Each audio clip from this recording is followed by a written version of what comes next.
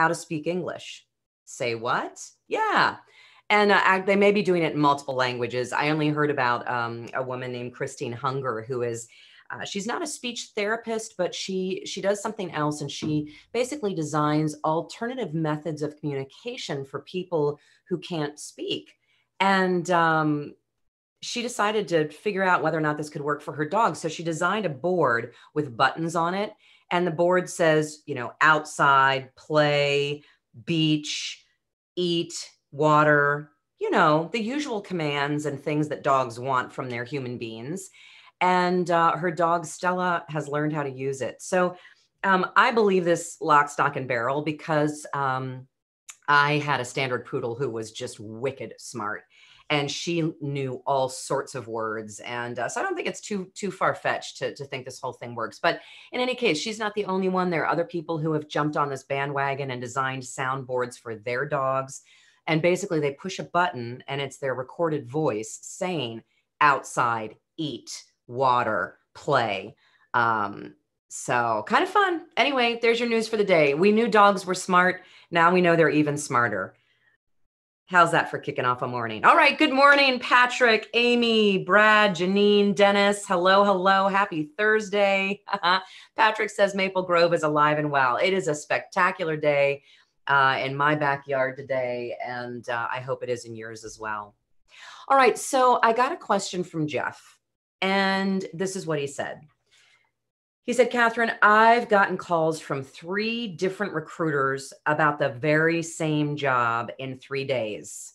When I asked the last recruiter what the heck was going on, he said that the hiring company, you know, that end client, the one with the actual job opening, has 12 contingent vendors, staffing firms on its staffing list. And all those vendors are working to fill the same open positions. I don't understand, says Jeff. What does contingent mean? And why on earth would a company want 12 different recruiters calling me at the same time? This is a beautiful question. It's really important for you to understand what the heck is happening as a job seeker uh, or a consultant. So, whether you're chasing full time jobs or contract jobs, uh, this is happening. This is going to happen to you. And let me first start by saying to Jeff and all of you if you have more than one recruiter calling you about the same job, first celebrate. That's a really good sign. It tells me, as a former recruiter, that your LinkedIn profile is completely up to snuff. Uh, you may have your recruiter post your resume which is also up, up to snuff. You may have your recruiter posted on the right job boards. You're getting attention. Recruiters are finding you. So, first, celebrate the great news. Then, let me help you unscratch your head and understand what is happening and why on earth would companies use 12, 20, 40 different vendors to fill one position? And then, lastly, most importantly, what's important for you to do about it as a candidate? All right, so first, what does contingent mean? Uh, because the recruiter confessed to Jeff that he was a contingent recruiter working at a staffing firm that only gets paid if they fill a position. So recruiters come in a lot of different shapes and sizes. You've got the corporate recruiters that work inside dedicated to that one company. You have agency recruiters, which work on the outside, supplying candidates to all of these companies. And if it's an executive search firm doing director level and above searches, they are typically retained. That means they have an exclusive. They will be the only agency working on those leadership positions. And they usually have a retainer, which means this company that needs their help will give them 30% up. Fr- it's usually 30, 30, 30. 30% up front to start the search, to manage all of the candidates. Um, and then they get paid a third halfway through, and then they get paid the balance once a candidate starts. So that's one relationship. By the way, if that candidate starts and gets fired or quits within three months, that uh, staffing firm, that executive search firm, has to pay that fee back typically. So that's executive retained search. Contingent search is where most of the world lives. So everything below that director level is contingent staffing, which means these staffing firms, and by the way, it's it's over a one billion dollar business industry, this staffing industry. Why? Uh, because companies can't hire fast enough on their own. Um, their recruiters internally are usually, not always, but usually generalists. They're supporting every line of business, which means they're not experts in IT, finance, operations, marketing. And when they have a position that's mission critical and they need to fill it fast, the recruiters inside that company often need help finding the top talent, finding the hidden talent quickly. So that's why companies use vendors. The reason they use multiple vendors is, quite frankly, time. Uh, there are three measures of success. There are three things these companies want out of these staffing firms they want speed, fast, fast, fast. They want quality. They don't want to interview 15 candidates. They want the staffing firm to screen them out and give them their three best candidates.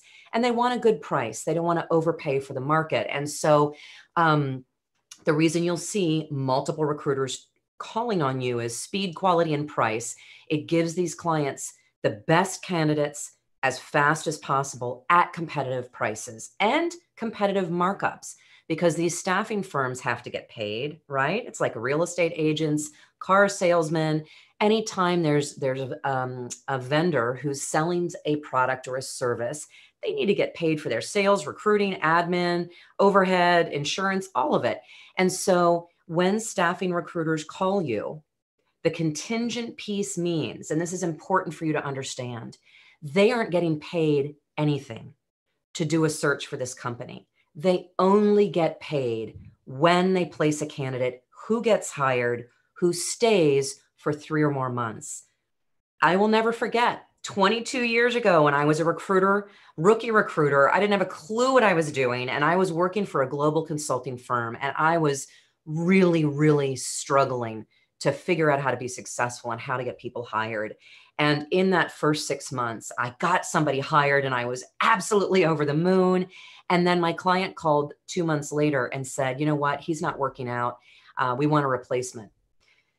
And we're not just waiting for a replacement from you. We are going to rely on all of our vendors because, as I told you, this project is mission critical and we can't afford to have this chair open. But this guy is not working out. So get rid of him. I want him off the project. Send me other candidates, but I may hire from somebody else. And sure enough, she hired another candidate through another firm. And not only did my staffing agency have to pay that fee back, I had to pay my commissions back. I only had to do that once in my career because I learned my lesson loud and clear. If you don't get it right, it's not just about putting a butt in the chair. It's about finding the best candidate and managing expectations on the candidate side and the hiring manager side so that both people are happy and the person actually works out and stays either in that full time job or on that project. So, anyway, that's what contingent means. That's what this whole world of staffing, consulting, recruiting firms operate like. And here's what that means to you. What that means to you. And as always, bring the questions. I have my flak jacket on. I can take the brunt of your anger and irritation and frustration toward recruiters. I get it. It's why I started Arbez 14 years ago because as a staffing recruiter, my hands were tied, my lips were sealed. There were a lot of times where I could only tell candidates a little bit of the truth. And I'm here today to tell you the whole truth.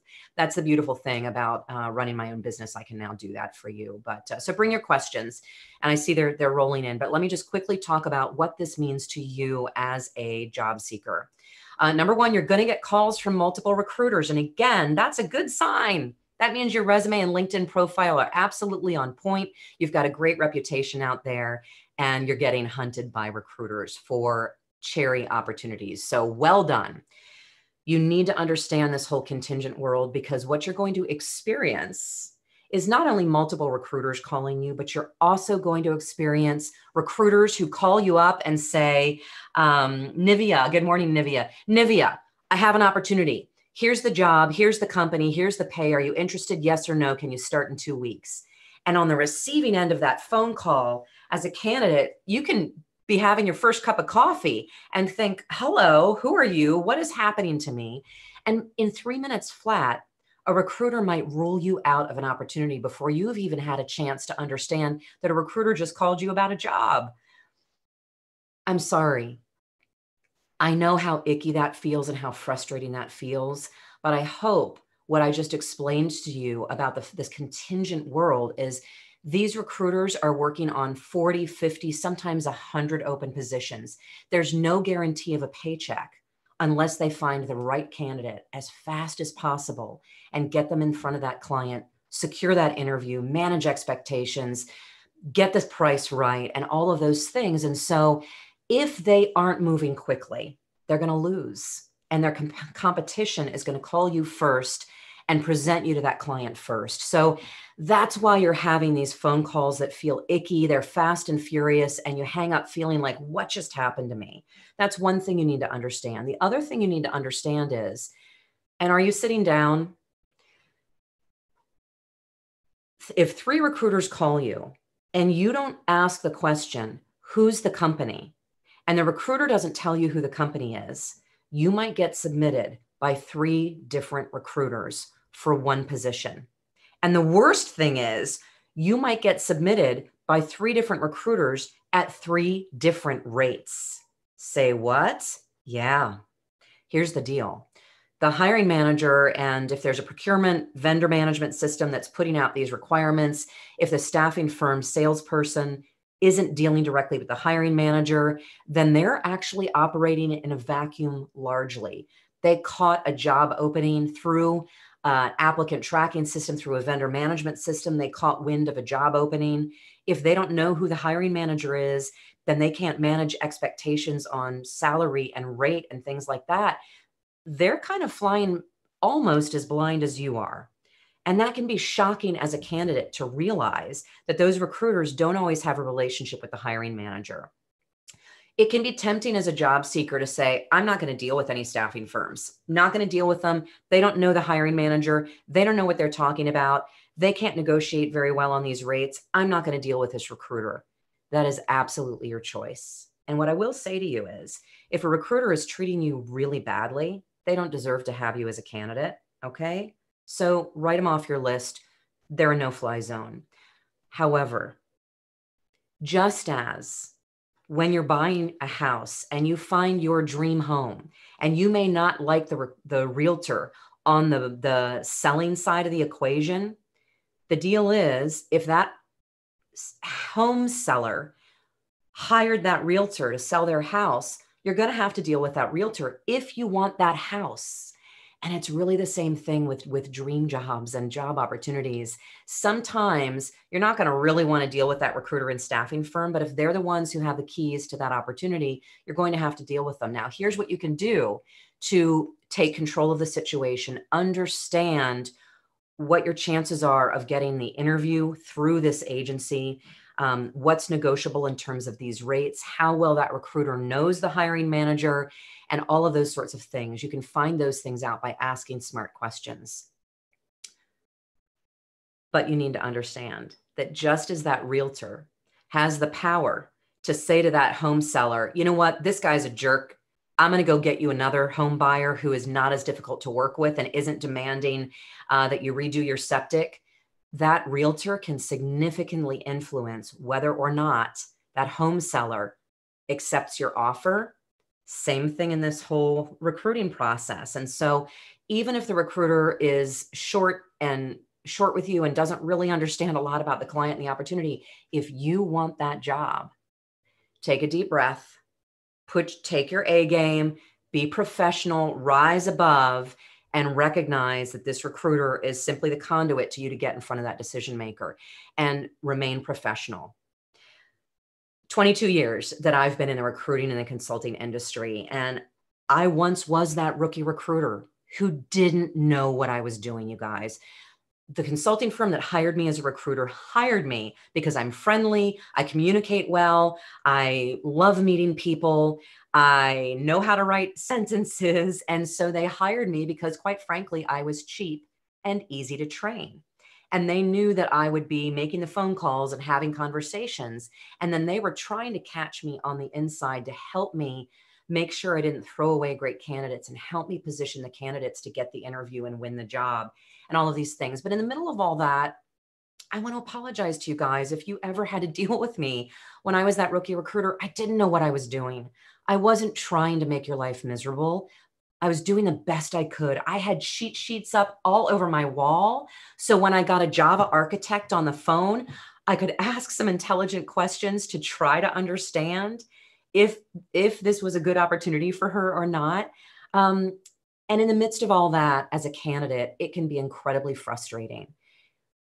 I can tell you, as that rookie recruiter, doing the best I could with what I was given for a job, I had people swear at me, hang up at me, yell at me, um, go over my head, treat me like dirt because they were irritated that my company had hired a rookie. And they were irritated that this company with the job opportunity had hired a staffing firm and they treated me like dirt. And I'll tell you the truth. Even though I didn't really know what I was doing, I had the power to move a candidate forward to the interview or not. And if somebody treated me like dirt, do you know what my boss told me? Again, I was a rookie. I didn't know what I was doing. My boss said to me, if a candidate treats you like dirt, we don't want to hire them because how are they going to treat our clients' uh, coworkers? So I know how frustrating it is working with recruiters, multiple recruiters. Take a deep breath, take your A game, rise above it.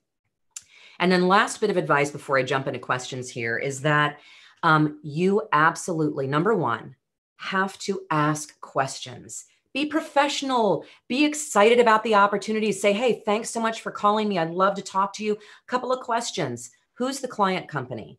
Oh, well, I don't want to share that with you. Well, you know, Jonah, um, I understand uh, that that you may not want to share that client company with me with for confidentiality reasons, but here's the thing: I'm getting calls from multiple recruiters about multiple opportunities. And the worst thing that could happen to you and me is that I get submitted by you and another recruiter for the same position. We'll all look bad. We'll all miss out on the opportunity. So I really need to understand who that end client is to make sure that I'm not already interviewing with them. You need to do that. Number two, you need to keep a spreadsheet. You absolutely have to keep track of which companies, which job requirement numbers you have applied for. When you're talking about Fortune 500 companies, they may have 10 openings right now for financial analysts. You need to know which posting you were submitted for so that when you get a call about another opportunity you can f- figure out whether or not it's that job or another job or and or what if you get a call from a recruiter about an opportunity at abc company but you have networked your way in and you've already been referred to that hiring manager by a CIO. You don't want that recruiter double submitting you if you're already working that process. Um, and the only way to avoid those pitfalls is for you to keep track of where you've been submitted. What company, which job, who submitted you, when did they submit you, what are the next steps in the process? I know you're sitting there swigging another cup of coffee thinking, ay, ay, ay, this is a lot of work. I know it is, but you'll thank me later. All right, so let me jump into questions. Um, yeah, Patrick, it is a great problem to have multiple recruiters. I know, Jeff, get over it. It's a good problem to have. Um, let's see here. Jordana says it's a beautiful day in her backyard. Nice. Uh, so, Peter, welcome, Peter. Peter is a consultant who just had a three month contract that ended in just 10 days because the client couldn't support remote training. Um, I'm not sure what that remote training is about, but Peter is just talking about he's on the market. He is now available. Uh, his three month contract. Oh, oh, oh. He was hired for a three month contract, but it ended after only 10 days because the company that hired him wasn't able to support remote training. Uh, bummer, it happens. Contracts get cut short just like full time employment gets cut short. Uh, so, anyway, so Nivea got a call just yesterday from a recruiter with multiple opportunities. Um, Brad wants to know, ah, Brad, bring these questions on. These are really important questions. Brad wants to know Will a contingent recruiter submit you on a position without your approval, without your okay? Unfortunately, Brad, some will. I never would because guess what? I look like an idiot. You look bad. Everybody loses in the on the back end if I submit somebody without approval, uh, because you might turn down the opportunity. It might be a double submittal. It's a really bad idea. But here's the truth, Brad. Unfortunately, sometimes. Sometimes there are recruiters who are going and they are just slamming resumes against a wall. And sometimes in their urgency, to get a candidate submitted, before the, the curtain drops because a lot of their clients only give them 24 to 48 hours to submit candidates. Sometimes they will submit you without approval, which is why you need to start asking questions about who's the company. Um, you know, you need to control all of that stuff. And you need to say, uh, please do not submit me without written approval. And I'm excited about this opportunity. I would love for you to submit me. Yes, I approve. I would be willing to do that project for this rate or in this ballpark. I'll send you a quick little email with my permission to submit. Now I got to step back and help you understand the world of contingent staffing firms. They run the gamut. Uh, a lot like financial advisors run the gamut from the ones who are just trying to work commissions and sell stocks to the ones who really care about your financial future. Same thing with staffing firms and recruiters. Um, I've worked at uh, several global consulting firms, some of whom were very high touch. We cared deeply about uh, making the right decisions for our clients and our consultants. I was given enough time and money to recruit effectively, to spend a few hours with my candidates and my clients to make sure it was a good match. Well, then uh, the dot com bubble burst um, 9-11 happened a couple of things happened. The economy got tight the it market got saturated with good talent. Um, sales were down considerably. Our company globally was hurting financially and all of a sudden my high touch take great care of our clients and consultants company turned into what's affectionately referred to as a body shop. And all of a sudden i was getting just hammered on placements and rates and all of this stuff and I no longer could take great care of my clients and, and consultants because my job was on the line and I was under significant pressure to just turn them and burn them. Um, and I didn't stay because I didn't like that. I left that company because I didn't want to operate that way. But what you do need to understand is there are a lot of recruiters that are working at, and the other thing is, it's not just that staffing firm, clients also drive the behavior. I don't want to get into the weeds on this, but let me just put it to you like this if the end company that that uses 20 vendors to fill positions, some of them will let the recruiters and salespeople speak directly to the hiring managers. The high volume, large employers often write in the contract that the recruiters and salespeople cannot speak to the hiring managers. They cannot submit candidates outside of the, the vendor management system. And if they do, they will get kicked off the vendor list. They also sign in that contract margins that are very, very slim. So, as a staffing firm, if you agree to do business with a huge company and they have 20 other vendors, this huge company is going to squeeze this staffing firm down so much on those rates, their ability to mark up on top of your salary or your billing rate, that they can't afford to invest a lot of time in the hiring process. And that's where you start to experience that that sort of pressure where recruiters are like, you know, on the phones, are you a fit? Are you interested? Will you take it for this rate? I'm submitting you. And occasionally you'll get recruiters that will submit you without approval. I went down that rabbit hole, um, Brad. I, I hope that answers your question and helps you understand this whole world. Guys, I know that this feels really dirty. I understand that it's not nice to know that this is how this whole industry works.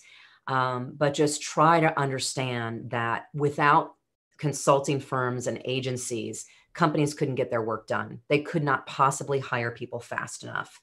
And this is just how it works. And again, just as you need a realtor to buy that house and you need that salesperson to buy that car that you really want, sometimes you're going to have to work through those staffing and consulting firms and just recognize the situation that they're in and why they want to get you on and off that phone so quickly. Uh, Nivea wants to know, find out where the company is located. Um, absolutely. Uh, that's one of the questions for you to ask because if you don't want to commute two hours a day, especially for Nivea, who I happen to know li- lives in New Jersey, uh, she could be looking at a four hour round trip commute per day. So, um, who's the company? Uh, who's the competition? There are actually, um, I actually have a whole list of 20 questions that you can ask recruiters uh, in the job hunt toolkit uh, that we've got online. Um, so, just a couple of the most important ones are who's the company? Um, how long has the position been open? Uh, how do I stack up against the other candidates? What's the pay range for this position? Um, when is the client going to make a decision? Those are some of the top questions for you to ask. Where is the company located? Um, as you're asking these questions, just take a deep breath, smile through the camera or the phone, and make sure that you remain enthusiastic about the opportunity. Even if you're not sure you want the job, this is one of the biggest mistakes that job seekers make is when they're skittish and they're they're uncomfortable with they don't have all the answers, they don't know who the company is, this recruiter is just chunk chunk chunk chunk they might not smile and they might get irritated and they might not know if they even want to be submitted to that position. Push through that. And despite the fact that you don't know if you want the job, at least express some enthusiasm about the chance to interview for it.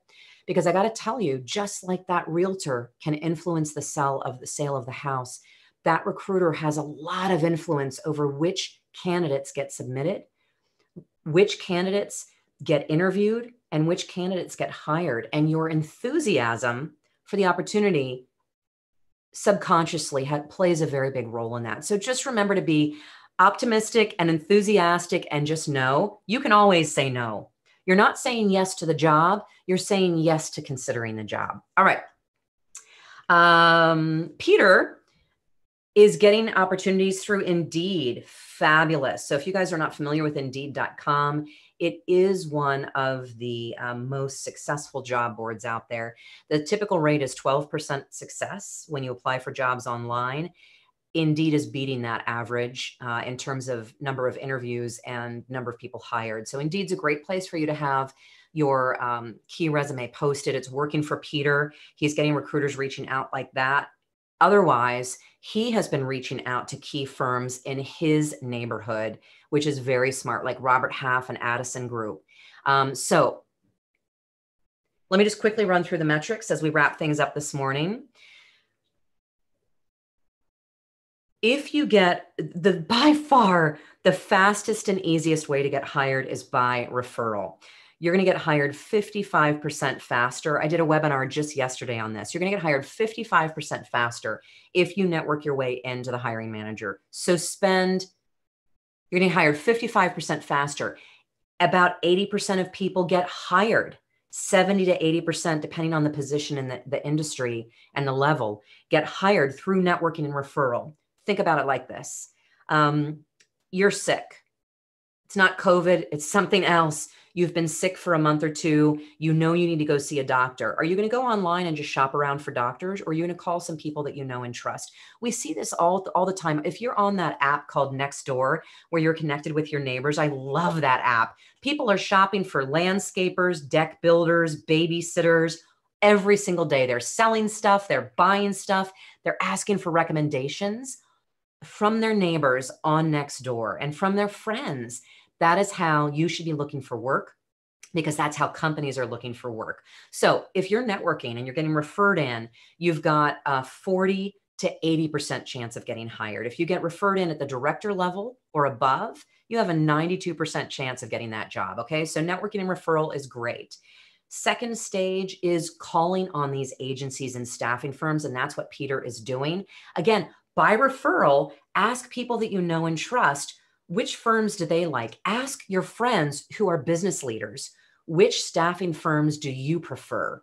And call those staffing firms and introduce yourself. So, good strategy, Peter. You have a 10 to 20% chance of getting a job if you go through a staffing or a recruiting firm. Okay. So, don't ignore them. Certainly reach out and they can bring opportunities for you. This is especially true if you're a freelancer or a consultant. Anivia is right. You can tell a lot about a person over the phone or camera um, and if you're not enthusiastic, it will show. It really will. So for years, you guys, I literally had a smiley face up on my wall in front of me to remind myself to smile when I was on the phone calling clients and candidates. And especially when I started doing online training via camera, I had a big old smiley face up in front of me to remind me to smile. Uh, good tips, Nivea. Oh, and Peter, I'm really glad you enjoyed my webinar yesterday on working referrals. Uh, you, he has some new homework to do. Great. So, hey, you guys, it's 8:29. Couple of things as we wrap things up. Um, I'm here every Tuesday and Thursday. Next Tuesday, Chef Amalia is going to be joining me. Um, tell all your friends about it, folks, especially those that are running small businesses right now. Chef Amalia was a VP of finance in the in the banking industry. She went back to school, became a chef, reinvented herself about 15 years ago. She does a lot to help entrepreneurs, and she herself has had to pivot and find revenue and, and reinvent her business on the heels of the uh, pandemic. And she's coming on Tuesday to share her passion and enthusiasm and what has worked for her and other entrepreneurs that she's mentoring right now during this pandemic and economic downturn. So tune in Tuesday. And I also have some exciting news. Are you ready? For those of you that are on that hunt for the dream job, we are launching our five part job hunt uh, series. We're, uh, so here's a teaser. Just pay attention. Make sure you're following me on LinkedIn um, and signed up for our newsletter at ourbez.com so that you're the first to hear about. Uh, we're going to be kicking off the five part series, I think, starting August 3rd. And basically, I love showing up and giving you guys snippets of information. But if you'd like me to walk hip to hip with you and take you through my job search process, um, I'd love to have you there. So stand by for more news about that uh, job hunt series. I'm very excited about it. It's been a while since we've done that, and I'm excited to get that back out on the market to help you. Have a great weekend, you guys. It's Thursday. Um, do something fun. Reach out to people who fill your gas tank. And please remember you are smart, you are talented, you are good enough. And there are tons of people right now in this market who need your help. Remember that, hold on to it, and I'll see you.